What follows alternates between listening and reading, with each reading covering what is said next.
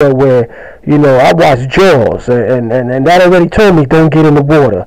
So I was with sharks and I actually felt I was there. I also did some simple roller coaster rides and they had me thinking I was actually on a roller coaster. So it does play with your senses to where you think you're really there.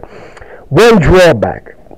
And again, this might be for me because again, I'm not a full-time hardcore gamer, but for me, it did after you know playing with it for an hour or so. It did give me a slight headache. Now i don't know if it came from carrying the weight of this on my head for su- such a long time or just because obviously my eyes were taking in a lot of you know stimulation from what you see from the graphics. Other than that man it's it's a beautiful uh, product. Uh, big ups to facebook you know what i mean? I'm, I'm sure they're gonna find a way how they can, you know, make this a part of their world over there and, keep you spending that bread.